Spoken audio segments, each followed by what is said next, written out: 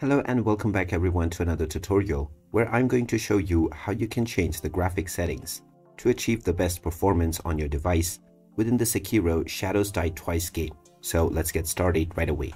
First of all, open up the game on your device and once you are taken into the main menu, scroll down and then click on settings. From the settings page, you will see the sound and display settings, which only consist of various other HUD as well as blood and subtitle settings. You can adjust your brightness if you wish from here, but none of the options here will affect your graphic performance in any way. So just click on graphic options and now you will be able to find the quality settings. You can choose from low all the way to max, but in order to achieve the best performance, you can leave it on high.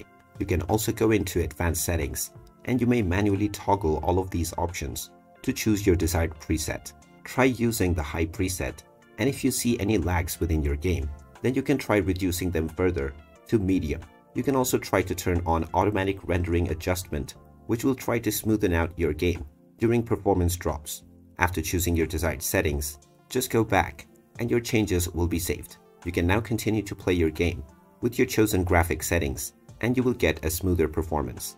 And there you have it. That is how you can optimize the graphic performance within the Sekiro Shadows Die Twice game. If you find this video helpful, don't forget to hit that like button and subscribe to our channel for more useful tips and tutorials. Thanks for watching and I'll see you again in the next one.